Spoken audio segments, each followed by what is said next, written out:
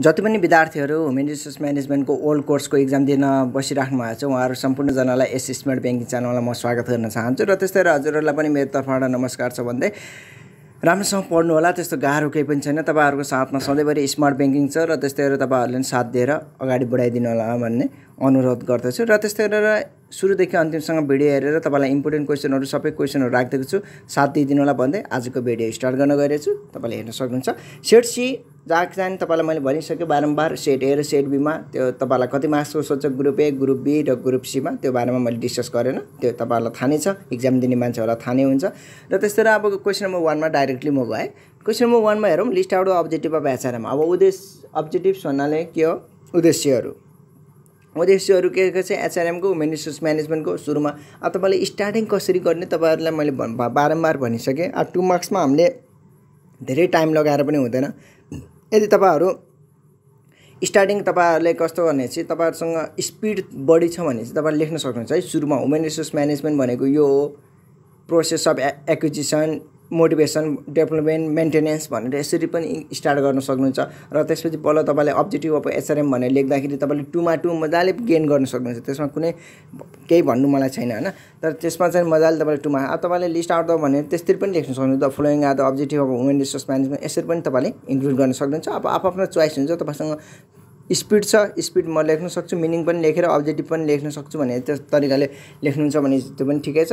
नत्र मैले म अब्जेक्टिभ मात्र लेख्छु भनेर लेख्दा पनि तपाईँले नम्बर पाइहाल्नुहुन्छ। र क्वेसन नम्बर टूमा जाउँ। What are the approaches to the human resource planning एप्रोचेसहरू के के छ? वुमेन रिसोर्स प्लानिङ दुईवटा तिनवटा एप्रोच छ त्यसले इन्क्लुड गर्नु होला। र क्वेसन नम्बर तिनमा what is human resource inventory meaning लेखिहाल्नुहुन्छ। Question number फोरमा mention the process of job analysis भनिसकेँ मैले प्रोसेसको बारेमा अगाडिको दुईवटा भिडियोमा र क्वेसन नम्बर फाइभमा list out the five core of job dimension डि डिमेन्सनको फाइभ कोर के के छन् त्यो बारेमा लिस्ट आउट गर्नुहोस् भनेको छ। Question number सिक्समा define the self management work team. Question number सेभेनमा write down the strength and weakness of the external source of recruitment. Strength र विकनेसहरू के छ? एक्सटर्नल सोर्स अफ रिक्वायरमेन्टको त्यो बारेमा लेख्नुहोस् भनेर सोधेको छ question number एटमा define achievement test and personality test question number नाइनमा difference between formal and informal interview question number टेनमा state down the process of socialisation भनेर तपाईँलाई सोधेको छ।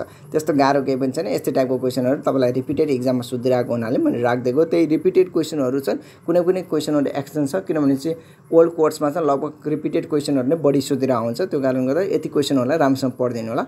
र त्यसरी ग्रुप बिमा हेरौँ। ग्रुप बिमा एटोमेनी फाइभ क्वेसन जहाँ तपाईँलाई छवटा क्वेसन सोधे हुन्छ त्यहाँबाट पाँचवटा क्वेसनहरू तपाईँले डिस्कस गर्नुपर्ने छ क्वेसन नम्बर इलेभेनमा जाउँ explain the of the job training with the merits and demerits अब अफ द जब ट्रेनिङको म्याथड्सहरू मात्र है। अब अफ द जब ट्रेनिङभित्र के के कुराहरू पर्छ त्यसको फाइदा र बेफाइदा सहित सबै पोइन्टहरूलाई तपाईँले डिस्कस गर्नुपर्छ। र क्वेसन नम्बर टुवेल्भमा हेरौँ explain the Maslow need hierarchy theory with the its criticism अब मास्लो निड हाइरेकेसी थ्योरीले के भन्छ? त्यो बारेमा यसको क्रिटिजम सहित तपाईँले लेख्नु पऱ्यो त्यसले पाँचवटा निड्सहरूको बारेमा कुरा गरेर आउँछ। त्यो निड्सहरूलाई तपाईँले फिगरमा बनाएर देखाउन सक्नुहुन्छ। र त्यसपछि यसको क्रिटिजमहरू यो यो छ यसको कि एलिमेन्ट्सहरू यो यो भन्छ भन्ने कुराहरू तपाईँले इन्क्लुड गर्न सक्नुहुन्छ। र question number थर्टिनमा explain the human resource management system human resource management सिस्टमको बारेमा तपाईँले सबै बारेमा लेख्नुपर्छ टेन मार्क्समा त्यो मिनिङ मात्र लेखेर तपाईँले पुग्दैन। यसको इम्पोर्टेन्सहरू के के छ त्यो सबै कुराहरू तपाईँले इन्क्लुड गर्न सक्नुपर्छ।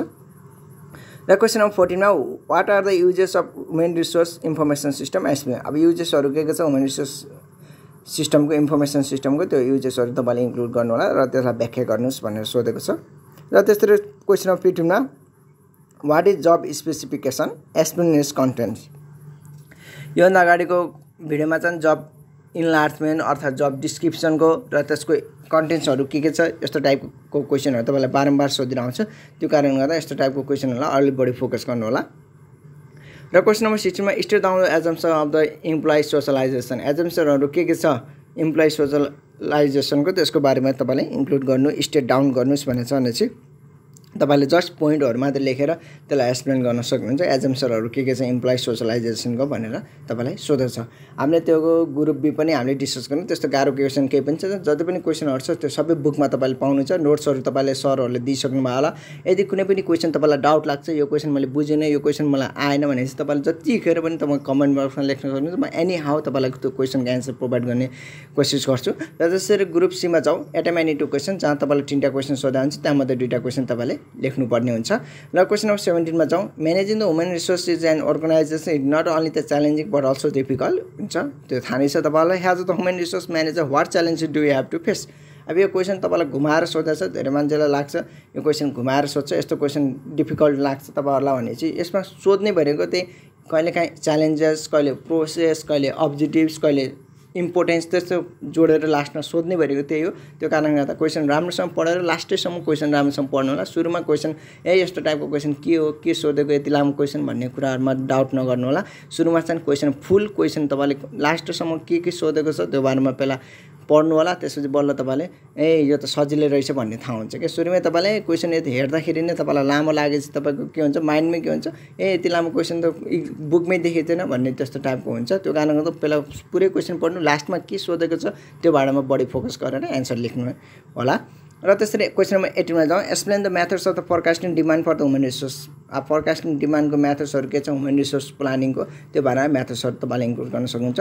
Question number नाइन्टिनमा what are the purposes of the job analysis discuss the components of the job description and job specification with suitable example यो क्वेसन तपाईँलाई दुईचोटि सोधिसकेको छ इक्जाममा फाइनल इक्जाममा अझै पनि आउने चान्स धेरै नै छ त्यो कारणले गर्दा यो क्वेसनलाई नै अलिक बढी फोकस गर्नु होला र क्वेसन नम्बर सेभेन्टिनमा चाहिँ तपाईँलाई सोधेको त्यही चुनौतीहरू हो च्यालेन्जेसहरू के के छ वुमेन रिसोर्स म्यानेजमेन्टको भनेर तपाईँलाई सोधेको हो त्यस्तो टाइपको क्वेसनमा चाहिँ तपाईँले नचुकिन क्वेसनहरू धेरै सोध्छ लामो लास्टमा explain the process of socialisation अर्थात् तपाईँलाई प्रोसेस अफ हुमेन रिसोर्स प्लानिङको त्यस्तो टाइपको क्वेसनहरू तपाईँलाई यस्तै टाइपमा सोधिरहेको हुन्छ एनालिटिकल टाइपमा त्यो कारणले गर्दा पहिला सुरु राम्रोसँग क्वेसनहरू सुरुदेखि लास्टसम्म पढेर एन्सर दिनु होला र त्यसरी ग्रुप डी पनि म धेरै नै सेट डी पनि म धेरै चाँडै लिएर उपस्थित have a good day take care bye